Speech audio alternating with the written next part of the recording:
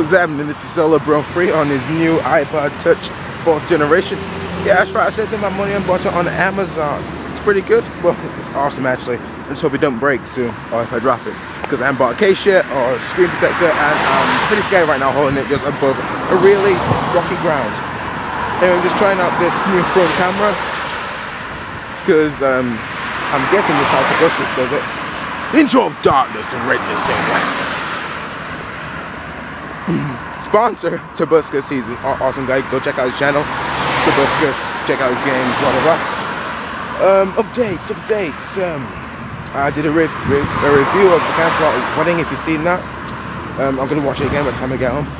I don't know why it was just the best episode ever. You can hardly see me because it's all lighting, but I'll try and move it so you can see me better. I'm um, walking home from school. I'm in my school uniform. Don't know if I should say school or not, so I'm not gonna. Um, the Nightmare Project, I think I had no time to do that. I told you it could take ages. Um, I haven't found anyone, anyone yet to teach me. Been too involved in, you know, studies and new iPad. So yeah, damn, you can't see, see me. Let's move around here. No, maybe not. No, that's e- even worse. Maybe that's better. Yeah, I think that's better. Unbutton my top button. Not wearing a tie. I feel too posh. Ooh, look at field. I don't know if there's any caterpillars down there. Let's go crawl with the caterpillars.